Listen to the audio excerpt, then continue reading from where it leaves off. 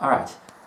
This is my terrorism video. Now, before the AIVD, the FSB, or the NSA, or any other intelligence agency uses this video to spy on me, let me tell you that as a tactic, I do not approve of terrorism. I'm just trying to explain the methods and motives of terrorists throughout the world.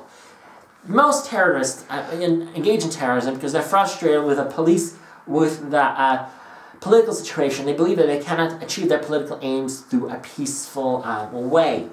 Some examples would be in the Irish Republican Army, believing that the current, that the current, at that time, the situation in Northern Ireland didn't allow them to achieve what they considered uh, political self-determination for the Catholics, Catholic minority in Northern Ireland.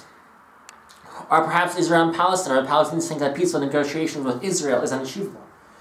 Or even perhaps uh, ISIS, who believe that, that, the, that the regimes in the Middle East do not adhere to their definition of Islam, even though I personally do not subscribe to it or uh, and so on and so forth. Of course, some terrorists have been considered uh, some considered have been considered freedom fighters, such as Nelson Mandela, who after the the shooting in Sharpeville, where peaceful protesters were for were fighting against the mandatory use of pass laws by the apartheid-era government.